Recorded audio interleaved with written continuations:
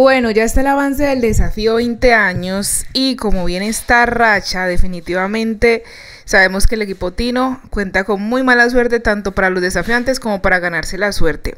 En esta oportunidad las apuestas están hechas y según información que ha llegado vuelve a ganar el equipo del pibe y obviamente van a tener el chaleco de sentencia porque no hay a quien más ponérselo, pero se van a salvar del castigo nuevamente y el equipo Tino tendrá que enfrentar un nuevo castigo, el cual obviamente les afectará a la hora de la prueba y los eliminados serían Alejo y Luisa, aunque esto viene sonando hace rato, y no solamente por el castigo, sino porque estos dos han tenido un desempeño muy bajo últimamente en las pruebas, en especial Luisa quiso perder las dos primeras pruebas y ahora se queja, ahora habla y bueno, en fin, lo cierto es que estamos en la recta final de este desafío. Este lunes veremos la última prueba de este ciclo, del último ciclo por dos equipos. Menos mal, ya empieza la verdadera semifinal. ¿Ustedes qué opinan? Déjenmelo saber en los comentarios.